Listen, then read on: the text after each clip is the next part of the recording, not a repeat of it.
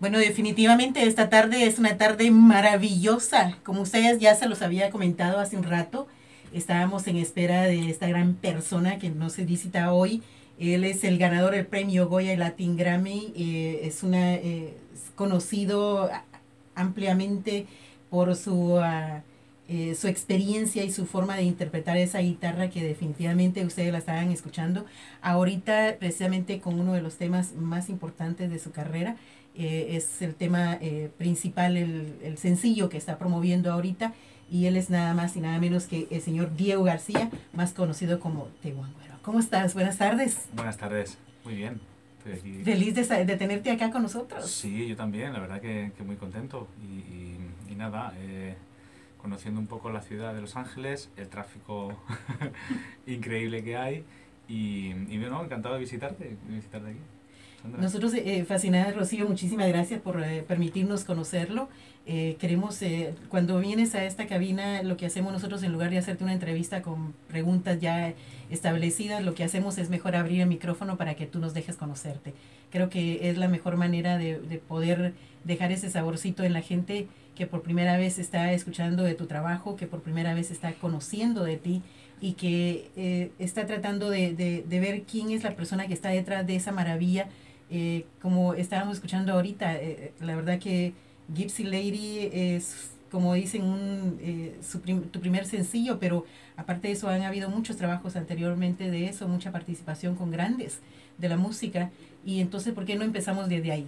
Eh, dinos, Diego García se convierte en Tuanguero. tuanguero, y eh, ¿dónde empieza la historia? ¿Cómo empieza la historia del La, la historia empieza hace muchos años, cuando yo era pequeño, mm, empecé a tocar la guitarra muy jovencito, con 7 8 años. Tuve mi primer contacto con la guitarra en España, yo soy español, y mm, empecé estudiando por la guitarra, la música nuestra española, ¿no? El- pues la música que nos caracteriza a nosotros de la península ibérica. Eh, pero bueno, luego me convertí en, en- en guitarrista profesional y, me fui a Madrid a vivir. Yo vengo de Valencia, que es una ciudad que está en la costa, en el Mediterráneo. Me fui a Madrid, que era la capital, y ahí empecé a tocar con, con- como guitarrista de sesión con un montón de artistas, ¿no? Como, como Diego El Cigala, Enrique Bumburi, Andrés Calamaro, un montón de artistas eh, importantes dentro del, del rock y, del- del- de, la, de la música latinoamericana, ¿no? Eh, y luego yo siempre he sido muy viajero, viajé, en- estuve viviendo en Argentina también unos años, toqué también con un montón de artistas allí eh, muy importantes y mm, viví en México también. Yo soy un viajero, soy un, artista viajero. Entonces en un momento, después de haber participado con, con grandes de, de la música, pues decidí que ya, ya era hora de, de defender mi proyecto. Entonces me inventé el proyecto que se llama Tuanguero. Y tuanguero es una cosa, pues es una palabra que tiene muchas connotaciones, entre ellas el, viaja- el viajero, ¿no? También. Y, mm, y además tiene una fusión de, de- sonidos latinoamericanos, pero también norteamericanos. Porque a mí me gusta mucho la, música, yo soy guitarrista, toco la guitarra eléctrica también, ¿no? Y la guitarra eléctrica nació en, en este país, ¿no? En, Estados Unidos. Así que siempre me gustó mucho la música, el rock and roll, surf, eh, Elvis Presley, toda la- el blues, toda la música. Pero a la vez yo siempre he sido un enamorado del repertorio latinoamericano, ¿no? Entonces, en este proyecto que yo tengo Tonguero, pues se juntan las dos vertientes, la música norteamericana, la de este país, y toda la tradición nuestra latina que viene desde España y pasa por México y baja hasta Argentina, ¿no? Es todo Con lo cual, eh, bueno, soy, soy un músico muy investigador, siempre estoy estudiando, eh, viajo mucho a, eh, a Sudamérica para, para tener contacto real con los músicos de, de del bolero, del mariachi, del tango, de Brasil. O sea, soy un tipo bastante inquieto. Y, y ahora estoy aquí en Los Ángeles, la ciudad de Los Ángeles. Vamos a ver si, si podemos aquí hacer algo. Estamos seguras de que sí vas a poder hacer muchísimas cosas porque eh, es un es un género, eh, como decías tú, tiene una eh, tiene una fusión eh, bastante completa eh, a la cual muchos de nosotros no estamos acostumbrados. Eh, pero que en el momento que nos damos la- los primeros 20 segundos la oportunidad para escucharla, te das cuenta que yo estaba en movimiento cuando estaba escuchando precisamente Gypsy Lady. es, es, un, es, es un ritmo que es bien pegajoso, que se acomoda. a- y eso que es la, la, la guitarra la, que- la que domina todo esto, ¿no? Totalmente. sí. totalmente domina todo y, y dirías tú, bueno, pero muchas veces la percusión es la que te hace mover, pero en este caso no, es, es la guitarra la, la que toma vida y, y la que te hace moverte y que te, y te hace sentir ese, ese ritmo dentro de, de- de tu sangre, ¿no? En concreto lo de Gypsy Lady es un tema que, mm, que además que lo compuse aquí en, en la ciudad de Los Ángeles. Y, mm, y es como, o sea, ahora que estoy viviendo en Los Ángeles, que estoy viviendo en California, es como cuando más cosas, más, cuando más música española me sale. Como que extraño mi país. ¿no? Extrañas tu país, ¿eh? Cuando, cuando estaba allí decía, "Ah, no, yo quiero hacerlo de fuera. Siempre, siempre estamos, el ser humano es tan contradictorio. Pero ahora que estoy aquí en Los Ángeles, pues como me sale mucho más la, lo que yo amé, lo que yo aprendí de pequeño, ¿no? Y Gypsy Lady es un estilo que es único en el mundo, que es surf flamenco, que no existe. Porque aquí la música surf es, es originaria de California y a mí me, me gusta mucho y eso, además es una música muy de guitarra. Pero yo le he intentado meter un poco esa, esas cadencias de la música española nuestra, ¿no? Entonces es como, yo creo que es la primera canción surf flamenco de la historia. Estoy, eh, sí, definitivamente, porque nosotros no habíamos escuchado nada parecido y nos encanta, la verdad que nos encantó muchísimo eh, poder eh, tener eh, la oportunidad de conocerte, eh, tener a, el, el ganador del premio Goya y del Latin Grammy acá con nosotros presentándonos su proyecto, es, es increíble, es, eh, es algo que, que nos llena de mucho orgullo porque de ver cómo eh, nuestros... eh, nuestro talento latino sigue adelante y está poniendo bien en alto la música y las diferentes fusiones. El prócer de la guitarra. ¿De dónde nace ese, ese nombre? Te, te ponen como... eh, es un compromiso grandísimo, ¿no? Es un es- eh, alguno exagerado, dijo eso. No, pero yo, fíjate, ahorita yo sé que traes aquí a tu compañera, traes tu guitarra y, Sí, y sí. estoy segura que le vamos a dar eh, una muestra de por qué te llaman el prócer de la guitarra. ¿Cuándo nace ese, ese apodo para ti o ese apelativo? Eso, eh, es que esos son los, los periodistas que a veces son un poco exagerados, me parece a mí. Yo soy un estudiante de guitarra, simplemente. Yo soy un, yo soy un, un humilde aprendiz de la guitarra.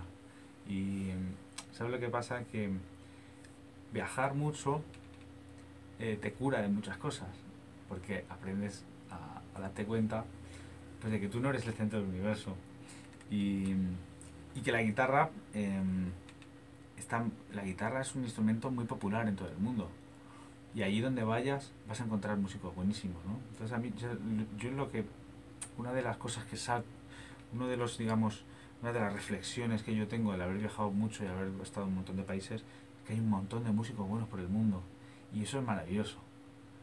¿No? No puedes decir, no, porque yo, yo llevo toda mi vida tocando, yo no hago otra cosa. No, me, despierto por la mañana, mi primer pensamiento es ir a agarrar mi guitarra. Y cuando me, cuando me duermo por la noche, estoy pensando en música. O sea, es 24 horas. Entonces, bueno, yo siempre yo me considero un humilde eh, intérprete y estudiante de guitarra. Fíjate todo lo que has logrado con eh, esa forma de, de, de, enamorarte de la música a través de tu guitarra, ¿no? Y, y eso pasa frecuentemente con, con la gente que ama lo que, lo que hace y es lo que transmites a través de la música. Eh, me llamaba la atención algunos de los, de los temas que, que, que tienes acá, por ejemplo, Gallo Negro. Eh, háblanos un poquito de, de Gallo Negro. Gallo Negro es, un- es una canción que hice, además también la hice en Los Ángeles, justo me estás diciendo las canciones que yo compuse en Los Ángeles, que está basada un poco en la tradición del East LA. ¿no? Yo tengo muchos amigos músicos que son del East LA, del este de Los Ángeles, con los cuales yo siento un montón de, de cercanía, porque son como los chicanos, ¿no? como los mexicanos, pero que ya han nacido en Estados Unidos, pero que entonces como, como que están ahí en, en medio de dos culturas, y eso a mí me interesaba mucho, social, o sea, sociológicamente me, me interesa un montón, ¿no? Eh, son gente que, que, que, bueno, que sus padres, sus abuelos son mexicanos, entonces conocen la tradición mexicana, pero ellos se sienten americanos. Entonces, eso desde el punto de vista musical me parece súper interesante. Gallo Negro es una canción que, que, que habla pues de, también de un de un tipo que es del barrio y que es un boxeador, el gallo negro es un boxeador del East ¿no? Y, y que tiene ese- esa mm, duda interna de saber a dónde, a quién pertenece, a dónde pertenece, ¿no? Y yo siempre he tenido eso, como he sido tan viajero, sí, yo soy español y me siento español, pero allá donde voy trato de ser del lugar, ¿no? Y juntarme con la gente local.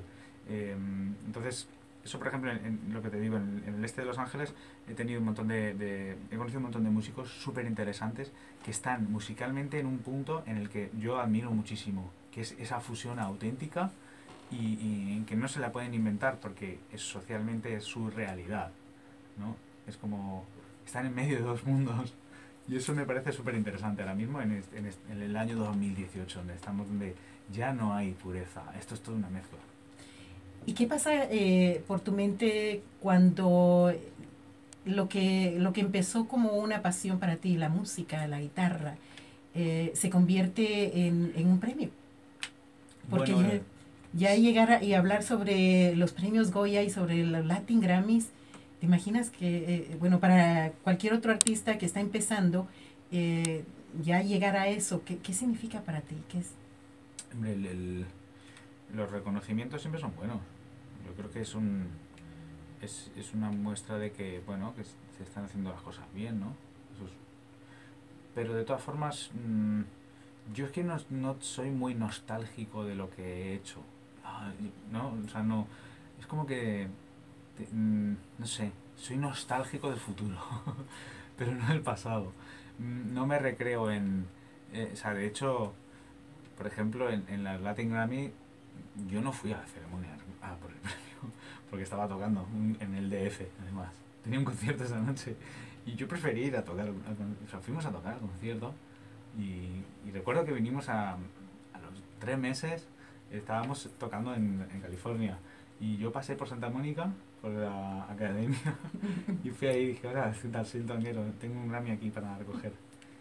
Y una chica hizo así, en el ordenador, y sacó y dijo, ahora vengo. Y te fue a traer al... me dijo, te puesto por una foto aquí. Sí, me tuve- con, Tres el, meses con, el, con el diploma y el... O sea, es que a mí, si quieres que te diga la verdad, no, a mí, me, hombre, claro que dices, guau, qué bien, ¿no? Pero yo, mm, no sé, tengo otros valores, ¿sabes? Y, y los, los premios es una cosa importante. Pero para mí un premio es mm, el concierto que hice anoche en Ventura, ¿no? Para, para toda la gente que estaban ahí en un parque maravilloso. Ese, eso para mí es un Grammy. Es un Grammy cada vez que subes a un escenario Sí. y que compartes con alguien. Sí, es un- y te aplauden y ves que te ha salido bien el concierto y todas las cosas. Ayer, ah, justo cinco minutos antes de salir, 10 minutos antes de salir a tocar, se me rompió una uña. sí, se me rompió una uña. Yo digo, oh my god. Estaba súper nervioso. Digo, ah, ¿qué hago? Entonces pongo Google y pongo nails. Y justo a 50 metros había un nails. Fui, entonces le dije al promotor, digo, espérate un momento, por favor, que ahora vengo. Fui corriendo y había una chica mexicana así, le dije, por favor, esto es una emergencia, necesito que... Esas son las cosas que me arreglaron la uña y subí corriendo a tocar. En fin, es la realidad del músico, ¿eh? No, no, no, el glamour no existe. Somos todos humanos. Esas cosas me pasan a mí, ¿sabes? Se me rompió una uña, todo se reía, como digo, pero man, mira, tú mira qué uñas llevo. Si se me rompe una uña, Hay que suspender el concierto. Ahí, mira. Pero... No, pero sabes que eso es, eso es lo bonito, eso es lo bonito de que eh, eres tú, eres tú, eh, sí, eh, eres humano, eh, eres como, como nosotros, pero eh, con, con algo lindo para compartirnos. Y, y yo creo que eso es lo que la gente aprecia. Eh, la gente quiere tener la oportunidad de poderte palpar, de poder, eh, por ejemplo, cuando vas a un concierto, una de las cosas que, que siempre admiramos nosotros es cuando el artista deja que se le acerque la gente, porque es como disfrutar un poco más allá de lo que fue la presentación de la música, ¿no?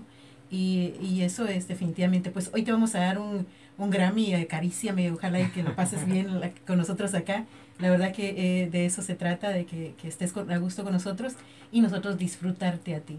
Y como nosotros aquí las caricias eh, hoy te tocan a ti, entonces tú me dices si empezamos acariciándolos con alguna canción que nos puedas interpretar y tú, me la, tú mismo me hablas de ella y la presentas esta tarde.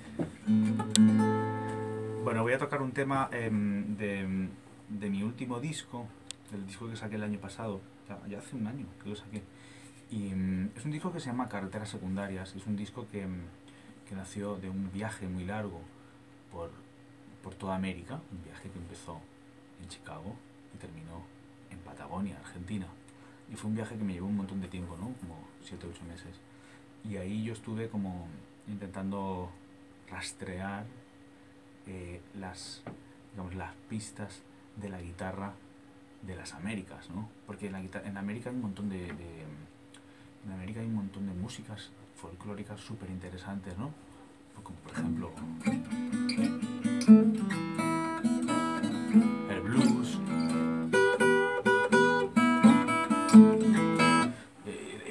música country.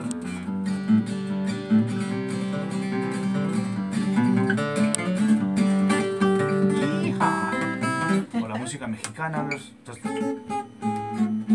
son los bases mexicanos. O, o la música cubana.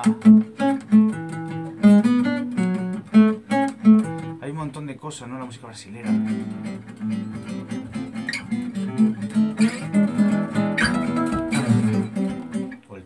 Folclore. Entonces, yo hice un viaje muy, muy, muy importante en mi vida para un poco para aproximarme a, a todas esas músicas de raíces y saqué un disco que se llama Carreteras Secundarias. Entonces, en ese, en ese mm, disco, mm, mm, como que reinventé ciertos fusioné ciertas cosas que salieron nuevas, ¿no? Y una de estas es lo que voy a tocar, que es el Spanish Ragtime, la música ragtime, pero española, cosa que hasta ahora no existía. Así que voy a tocar este Spanish Ragtime. 음.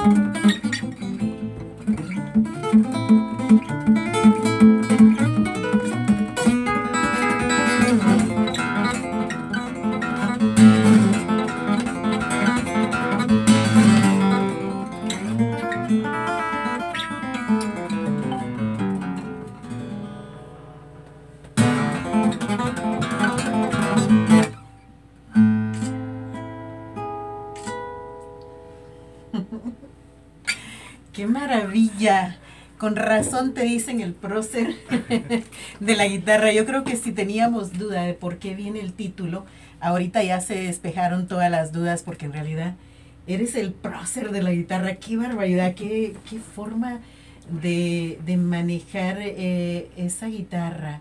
Esa guitarra habla, canta, llora, ríe en tus manos. Ahora entiendo por qué te llaman el prócer de la guitarra, definitivamente. Una cosa es escuchar el disco, fíjate, una, una cosa es escuchar la melodía y otra cosa es verte interpretándola. Es que es increíble, es increíble esa entrega que tienes a la hora de interpretarla. La verdad que, que qué bárbaro. Me, me encantó gracias. muchísimo. Bueno, muchas gracias. No, es, es increíble todo lo que nos estás entregando hoy. Ahora, háblanos, sé que estás trabajando un nuevo material. Háblanos un poquito sobre ese material.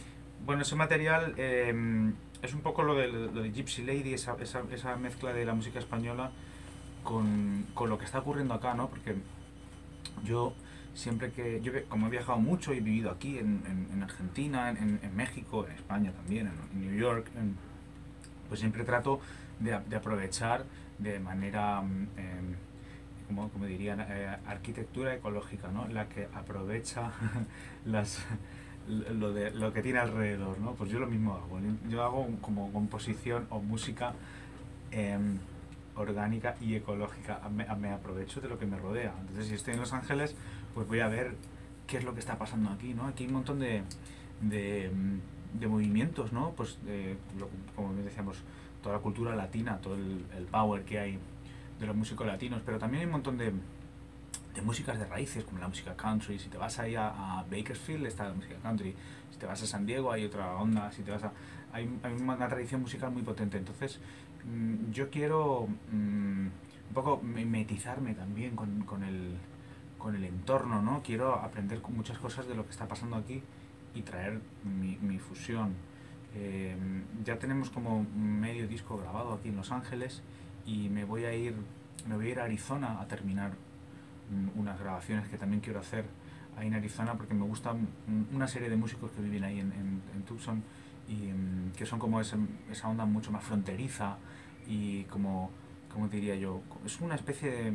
Yo, yo hago como música un poco cinematográfica también, ¿no? Es lo que te iba a preguntar, porque Sí. hab- hablamos de la película, de lo que es tu música, ¿no? Sí, es un poco una película, una película mental que yo, que yo sueño y que luego trato de plasmar eh, en, en sonidos, ¿no? Y, y ahí, es, ahí es donde está el trabajo, ¿no? Eh, intentar que intentar ser fiel a lo que al, al, al- proyecto, a la imagen que uno tiene, ¿no? Porque porque para eso es un proyecto, ¿no? Es, es tratar de, de darle forma a eso mentalmente y luego tratar de igualarlo ahí como, como pueda, como sea posible.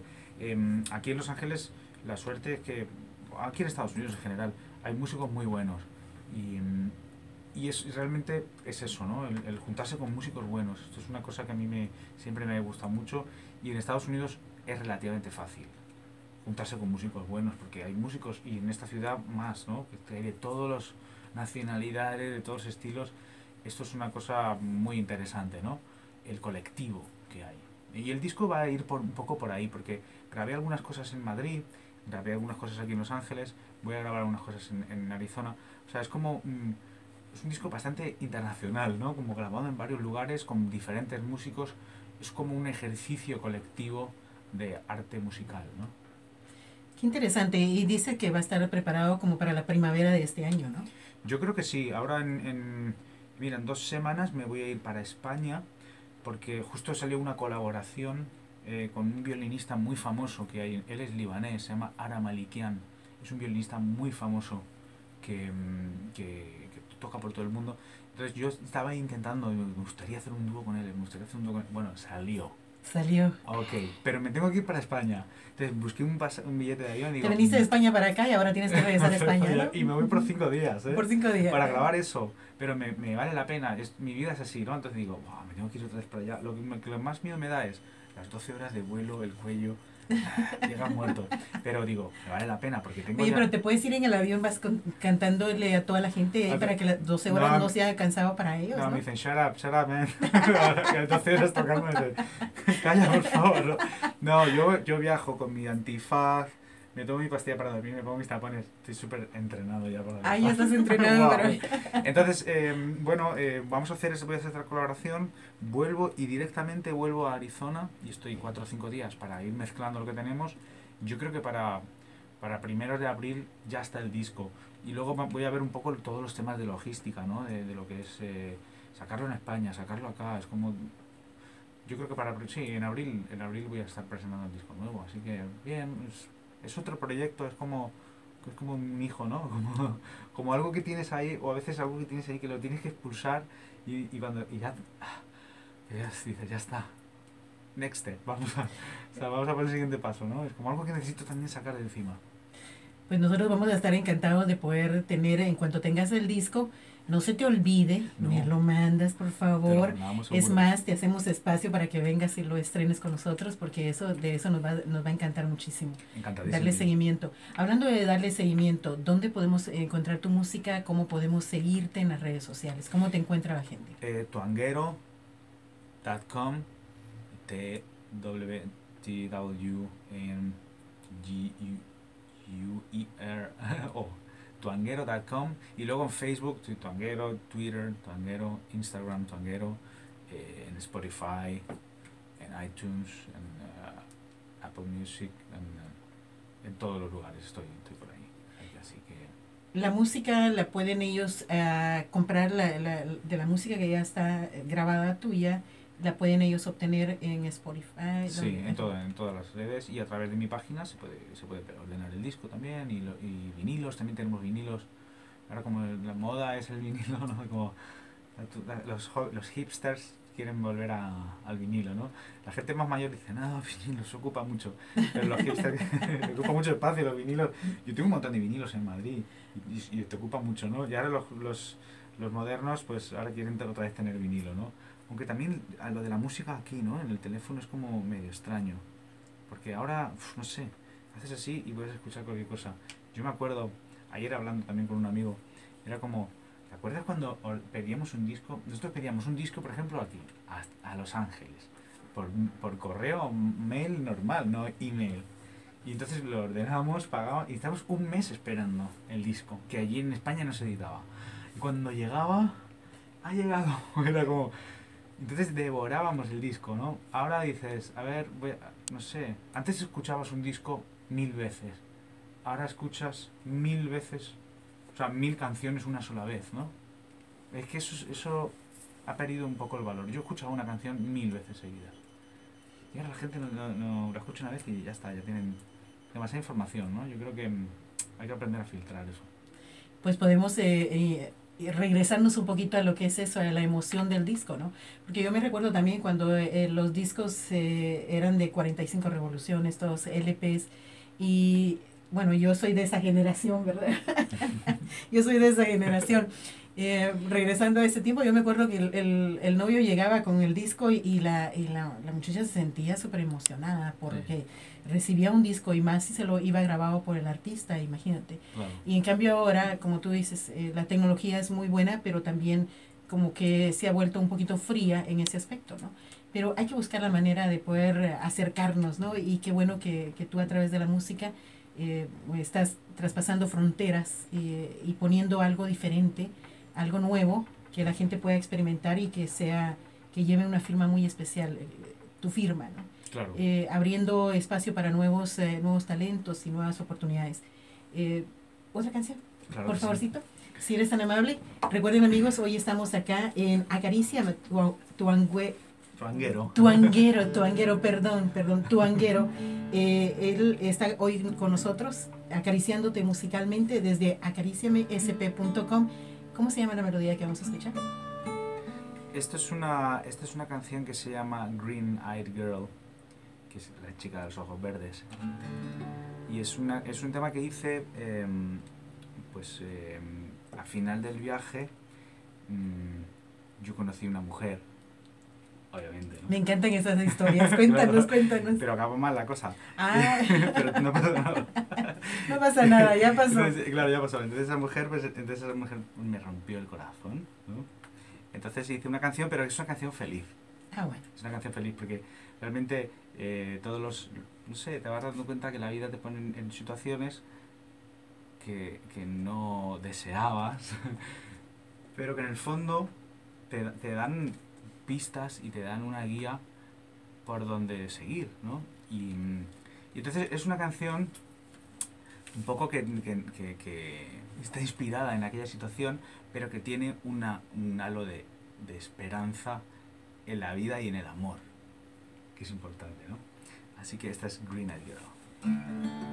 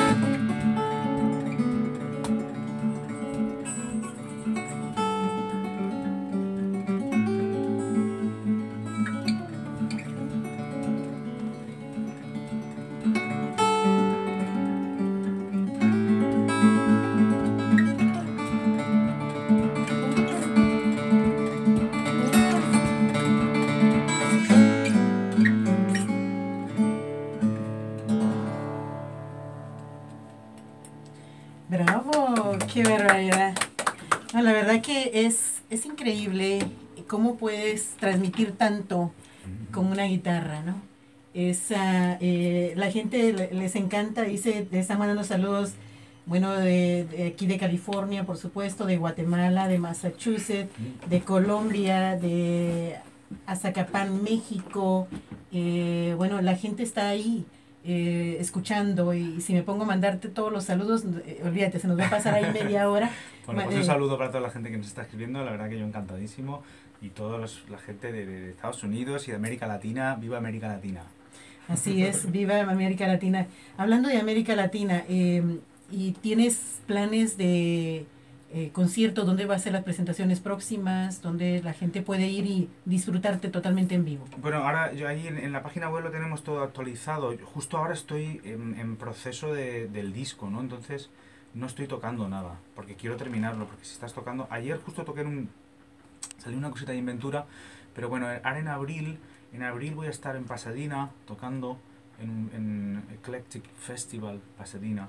Voy a estar en Ventura también, en el Ventura Music Festival, en no sé cuándo es, el 11 de abril, creo que es. Creo que Rocío está, Rocío está ahí corriendo buscando las fechas. South Pasadena. eh, ah, mira, voy a estar en eh, Arroyo Seco Golf Course. Esto no lo sabía yo. El 5 de abril en el Blue Guitar, que es el South Pasadena. El 5 de abril. Eso es, un buen, eso es un buen lugar, es un club muy interesante. Y luego vamos a estar el 19 de abril el Ventura Music Festival.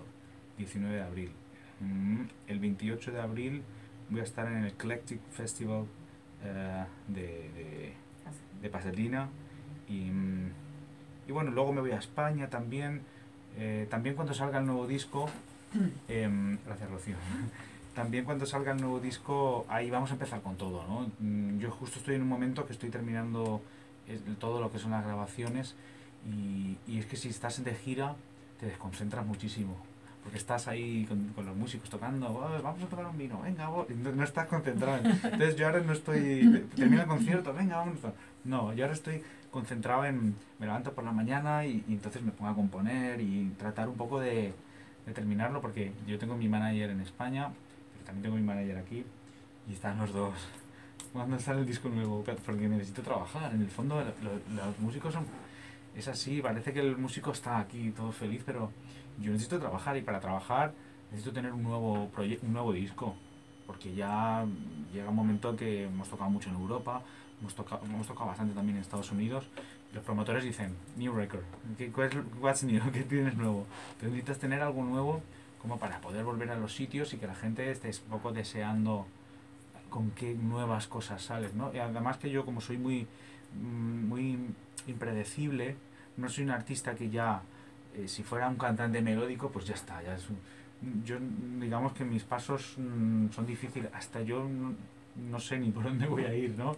Entonces estoy bastante concentrado ahora en, en- hacer un buen disco, en el, del cual yo me sienta orgulloso, porque es lo que le das a la gente.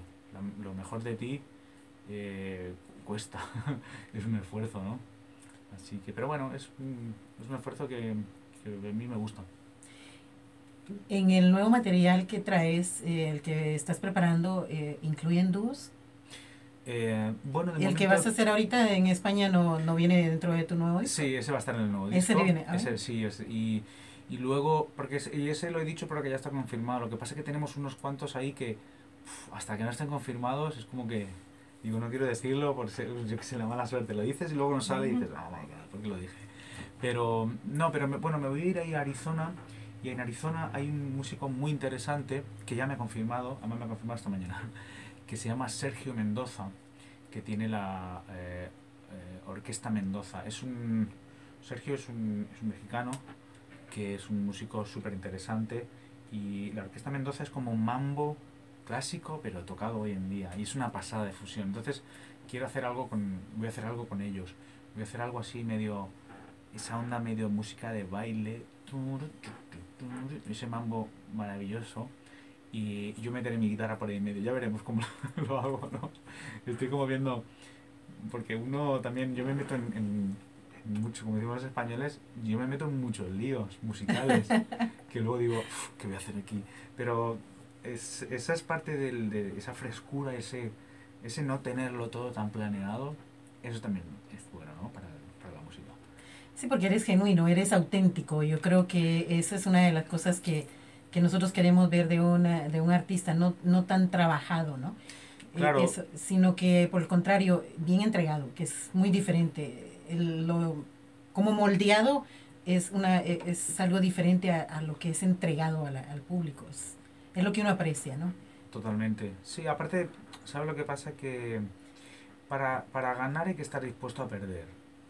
No, no vale el soy el ganador y yo no pierdo. No, yo, yo para ganar, cier- ganar para, para hacer cosas de que diga, guau, qué bien salió esto.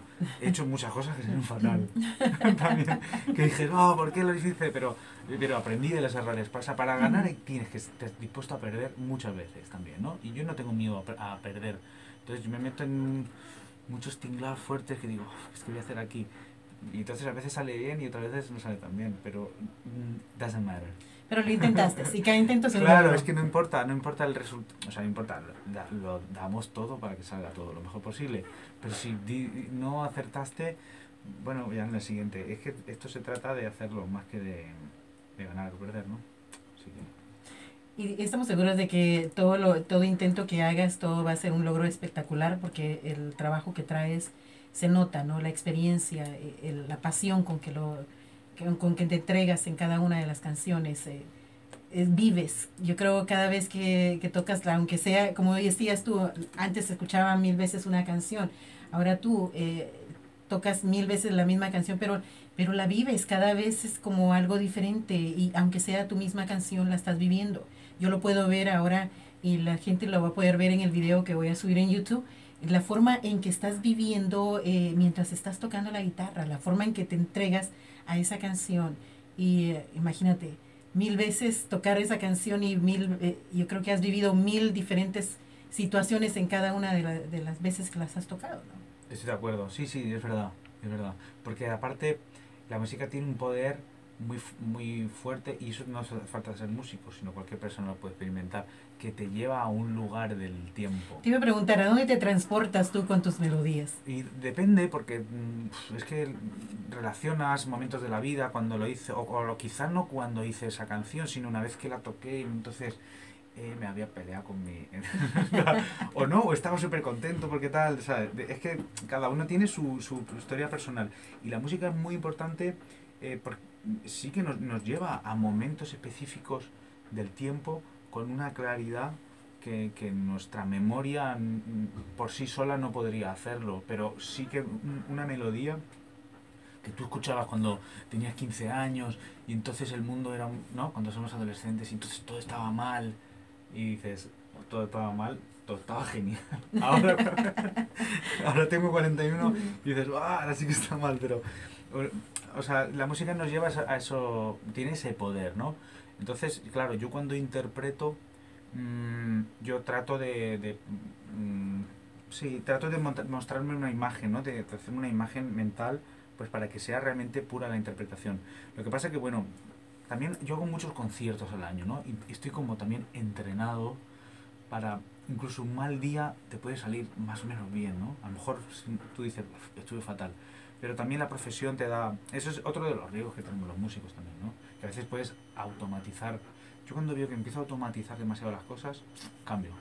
Digo, no la voy a tocar en tres meses esta canción para, para que luego vuelva a ser fresca. Luego te vuelves a encontrar con ella y dices, wow, qué bien, es como una cosa nueva, ¿no?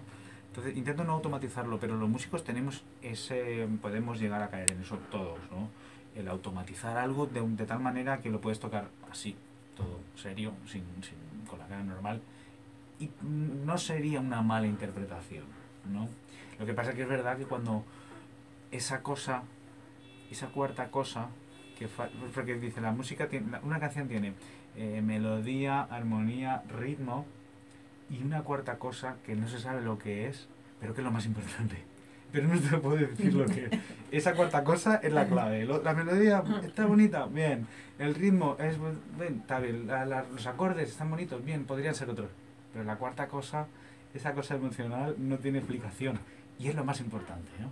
En la interpretación es lo mismo. Es lo que complementa tu, eh, tu interpretación ahí, ¿no? El poder encontrar esa cuarta cosa que a veces le encuentras con el público en sí, ¿no? Claro, el público, por eso a mí me gusta mucho tocar en directo, porque cada noche es una noche diferente y tú puedes estar mal también. ¿Por qué no? Se vale, ¿no? También vale, si yo puedo estar mal, yo estoy, no sé. Como ayer cuando se te quebró la uña, ¿no? No, vale, ¿Estás pero preocupado? estaba, súper- estaba preocupado, pero antes estaba súper contento y súper feliz de salir. Y cuando me pusieron la uña, ah, respiré y dije, Qué alivio. voy a tocar, voy a tocar genial, ah, voy a tocar. Y luego hacía, hacía mucho frío, estaba, hay un montón de cosas, ¿no? Entonces, ayer hacía mucho frío. Yo estaba ahí outdoor, cuando te digo, madre mía, outdoor, estamos en invierno, un frío de este del Pacífico, uf, y yo ahí tocando, tiqui, tiqui, tiqui. Bueno, pues entonces ya vas improvisando y dije, dije, hostia, yo me voy a poner a tocar aquí todo el tiempo rápido porque no, no me dan los dedos. Pues voy a tocar otras cosas más, más lentas. Aparte vi a la gente tiradas todos en el pasto así. Estaban todos tirados, dije, "Eh, estos están ahí tranquilos, no hace falta que toque nada muy animado.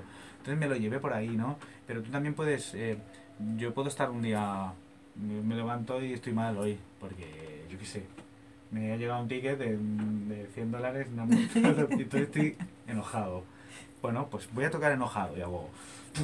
Y, al- y está bien también, ¿eh? O sea, hay que dejarse, hay que, a la hora de la interpretación, hay que dejarse, hay que permitirse ser, ¿no? Porque es puro. Si estás feliz, estás feliz. Tú vas a tocar canciones de amor. Si estás enojado, todo... Como estés, hay que aceptarlo. Hay que aceptarlo y hay que seguir. Hay ¿no? que seguir, claro. Hablando de seguir, eh, una vez más, si eres tan amable, tus redes sociales para que podamos eh, continuar eh, contigo en este trayecto de este nuevo material y, por supuesto, de todo lo que viene contigo y con tu música. Bueno, pues me podéis encontrar en tuanguero.com y ahí mismo están todas las redes. En Facebook, Tuanguero, Twitter, Tuanguero, pues tenéis todos los, los iconos que podéis pinchar. Twitter, Instagram en, y YouTube también. YouTube, yo tengo un canal que, que tiene muchos suscriptores, que le gusta la guitarra y tal, y ahí podéis mirarlo porque eh, el mes que viene justo vamos a lanzar toda una serie de eh, vídeos didácticos de guitarra yo llevaba mucho tiempo que la gente me pedía, ¿por qué no hacer vídeos? Yo, "Uf, digo, es que no sé. hay-". Entonces, estas navidades, como yo no paro nunca, me fui a España y fui un día ahí a ver a mi familia y tal, y al día siguiente ya me puse a grabar los vídeos. Hicimos toda una serie de videodidácticos que lo vamos a estrenar eh, ahora en el mes de marzo y en YouTube, Tuanguero, podéis, eh, podéis verlo porque creo que es muy interesante. Yo explico un montón de cosas, de canciones mías y de cosas que he aprendido en los viajes y son como casi 30 vídeos lo que vamos a sacar de didáctico. Así que los que tengáis ahí un, tiempo podéis suscribiros al canal y ya os llegarán las noticias.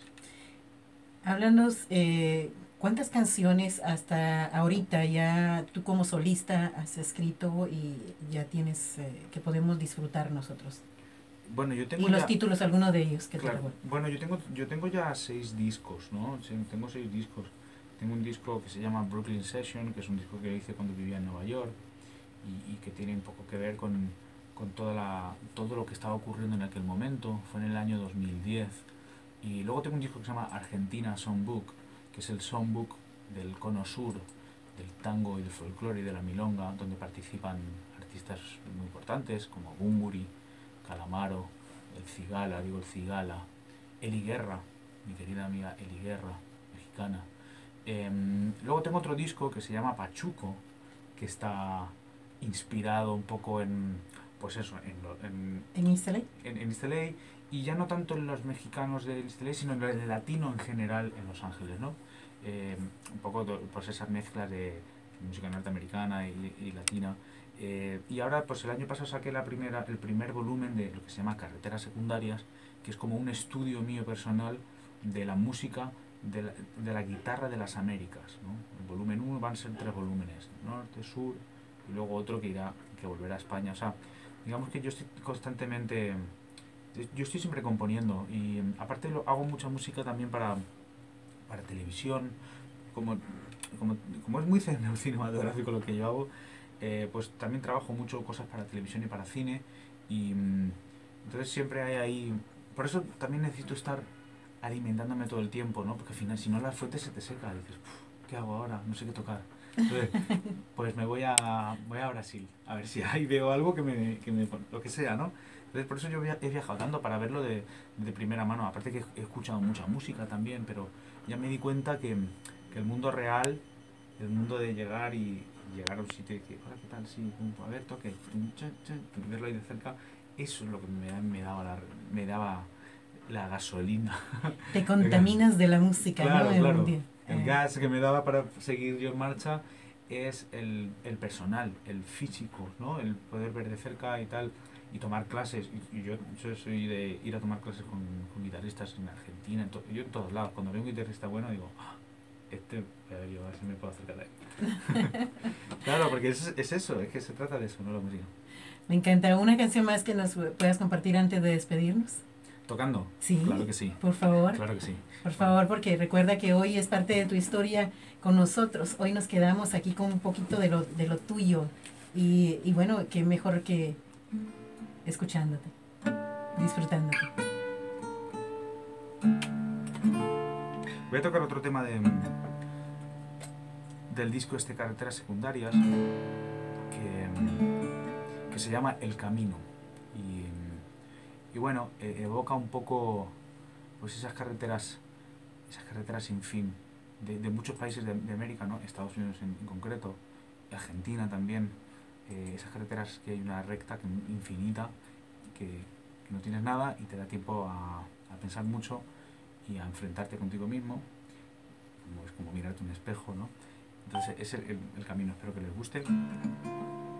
Suena así.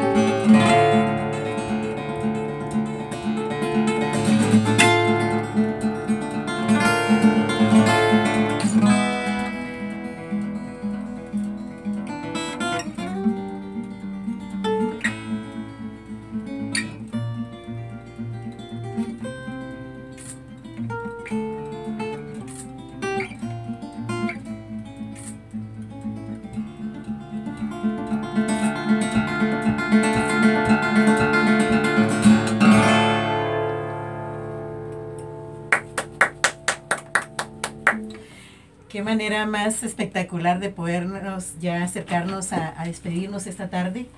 de la visita de este virtuoso de la guitarra. Por algo le dicen nada más y nada menos que el prócer de la guitarra, definitivamente. Y la invitación está para que vuelvas pronto. La invitación está ahí para que Rocío nos haga el favor la próxima vez en cuanto ya tengas el nuevo material o cuando gustes. Nomás nos dice Rocío, Sandrita, ahí vamos de regreso y ahí con gusto. Ahora ya saben dónde estamos. Ya saben cómo los trata el tráfico aquí en California. ya lo sabemos, tenemos que salir antes. Ahora ya saben cómo. eh, y entonces aquí estaremos nosotros felices de la vida de poderte recibir en el momento que tú gustes. Estaremos felices de poder seguir conociendo más de tu historia, más de tu material. Bueno, Definitivamente eh, hemos pasado una, una tardecita rica. Eh, qué bonita manera de acariciar al mundo a través de, de esto que haces tan espectacularmente. La verdad que te damos las gracias de parte del equipo de acariciamesp.com y la invitación queda ahí para cuando gustes. Aquí estamos para ti. Muchas gracias, pues, pues nada, yo encantado, espero volver a verte y, y un saludo a toda la gente que nos escucha de todo el mundo. Antes de retirarte, eh, nosotros tenemos un lema, acaríciame si puedes, así se llama, y eh, entonces te va a tocar acariciarnos de la forma que tú puedas. Como sabemos la, ma- la mejor manera que vas a acariciarnos, entonces queremos que nos acaricies eh, precisamente con una de tus canciones ya para despedirnos. Y antes de eso, pues les dejes un mensaje a todas las personas que hoy nos hicieron el gran favor de estarte escuchando y para que los invites a que sigan tu música y sigan tu carrera a través de tus redes sociales. Bueno, ¿quieres que toque más? También, Claro con, e- sí. con esa vamos a despedir, con, Ok. cantan- con la canción vas a despedir, pero antes de eso, pues déjales el mensaje. ¿Cómo quieres? Si nosotros pudiéramos, eh, siempre en vida es cuando los homenajes deben de darse, ¿no? Sí. En vida es cuando se disfrutan las flores, en vida es cuando se disfruta todo lo que uno puede vivir de la vida y de la gente. Y en vida eh, yo creo que te gustaría que la gente te recordara de una manera muy especial. A ti en especial, ¿de qué manera quieres que la gente eh, te reconozca, que, que te recuerde en vida? ¿Cuál sería el homenaje que el público te podría dar a ti? Y bueno, que, que, se sintieran mm, felices escuchando mi música, básicamente. Yo creo que, que eso sería, lo- la- no sé, después de, de muerto, como no voy a dar cuenta de nada, espero que mi música esté en los corazones de la gente viva. Mira qué bonita forma de... Bueno, entonces, dinos con cuál canción vamos a despedir esta tardecita contigo para podernos eh, despedir del programa Acaríciame y pues acariciándolos musicalmente. Bueno, pues voy a tratar de acariciarles. Primero les mando un saludo a todos. Yo soy el tuanguero y, y está encantado aquí de, de estar con Sandra, pasando un buen rato, hablando de música, tocando la guitarra, básicamente lo que me gusta hacer, así que no me ha costado nada. Y, y nada, me voy a despedir con, me voy a despedir con un tema también de, de este disco que se llama Blue Smoke y, y es un tema que, que se lo voy a dedicar se lo voy a dedicar al que, al que para mí fue el mejor guitarrista que ha habido en España y para mí en el mundo entero, que es el señor Paco de Lucía, que ya falleció justo hace, no recuerdo exactamente, pero creo que fue por esta fecha, hace ya tres años, el 26, el 25 de febrero, creo que fue ayer, el, se lo voy a dedicar a- a- al señor Paco de Lucía este tema que se llama Blue Smoke. Así es amigos, y bueno, las caricias musicales hoy fueron de parte de tu Tuanguero y esto es para ustedes. Gracias por permitirnos acariciarte musicalmente todos los días desde www.acariciamesp.com. Soy tu amiga Sandra Peláez y esto fue Acaricia.